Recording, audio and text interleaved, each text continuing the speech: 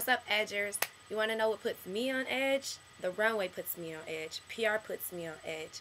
My dreams, my goals, my aspirations, and everything that I strive for in life and the blessings that God has given me puts me on edge.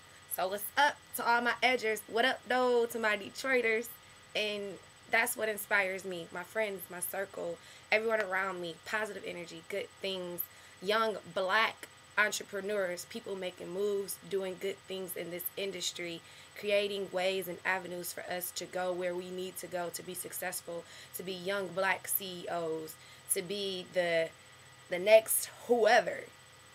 It's what inspires me. That's what puts me on edge. My runway, my PR, and all the positive and good people that I surround myself with. Like all of you edgers. Go Edge Magazine. I love you guys and let's get it.